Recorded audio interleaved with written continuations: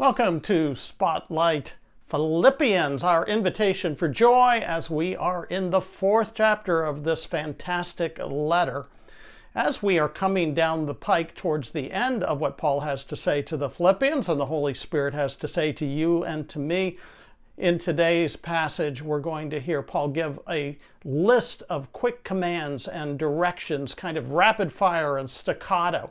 This was not uncommon for Paul to do when he's about to wrap up and wind down a letter to a congregation.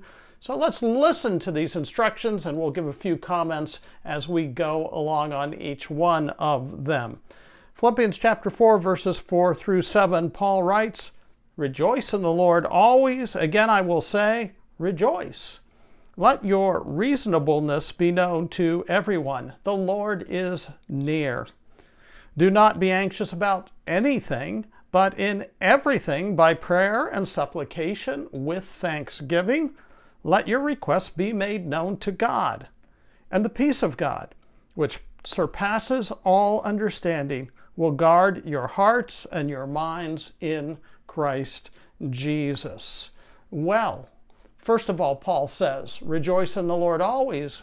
I'll say it again rejoice. He's already given that commandment once. We saw it, didn't we? Flipping back in our Bibles to the start, chapter 3, verse 1. Finally, my brothers and sisters, rejoice in the Lord. To write the same thing to you is not a trouble to me and it's a safeguard for you. Well, Paul feels like he has to say it yet again right here in this single letter. Rejoice in the Lord always. And again, he repeats it. I say again, rejoice. And that's a call for us. We could reiterate what we said in the previous devotion. We've got to be reminded to rejoice in the Lord. If you are like me, I am inconsistent in my rejoicing in the Lord. Sometimes I'm really good at it and I rejoice in the Lord and remember to rejoice in the Lord. And other times I'll just kind of fall off the map altogether And it'll go for hours, sometimes days that I'm not consciously rejoicing in Jesus Christ. Are you the same way too? Well, then let's listen to Paul again because he doesn't mind saying it to us again and again and again. Be reminded in your life, rejoice in the Lord always. Maybe copy this verse and put it somewhere in a prominent spot. Tape it to your mirror in your bathroom so you see the reminder. Maybe tape it right on uh, your driving wheel right there in front of where the steering column is so that whenever you look down, there it is. Rejoice in the Lord always. We need the constant reminder to rejoice in the Lord because as we rejoice in the Lord, it will produce indeed greater joy in our lives. So let's do that. Then he says, Let your reasonableness or your gentleness the word can mean either one.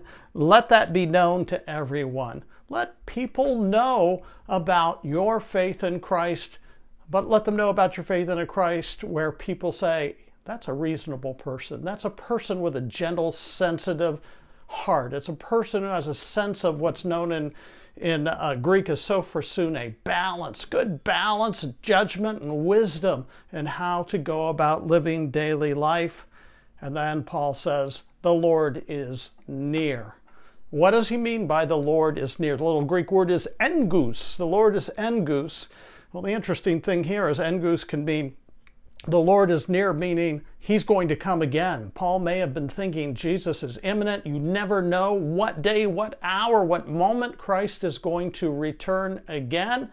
We don't know that any more now than Paul knew it then. So always be living with the anticipation that the Lord may be near to coming again and live in light, that it could be any day, any time. But interestingly, engus also means to be near in terms of space. The Lord is near to us. The kingdom of heaven is near to us. So near that the Holy Spirit indwells us and Christ is in us and we are in him, our hope of glory, and that is nearness. So think about nearness in terms of always looking for the return of Christ, and nearness always in terms of the fact that He is never far from you. Paul continues, Don't be anxious about anything. How many of us, myself included, fight the fight against anxiety? When we feel that anxiety welling up, what is the antidote? The antidote is to pray. But pray, as Paul uses, using three terms. We pray with supplications and thanksgiving to the Lord. We make our requests known to Him. You anxious? Take it to the Lord in prayer. Take it in supplication. Take it with thanksgiving. And what will happen? The peace of God, which passes our human understanding, will guard our hearts and minds in Christ Jesus. What a great promise that is for us. Are you anxious about something today? Make this part of your devotional life. Confess that anxiety.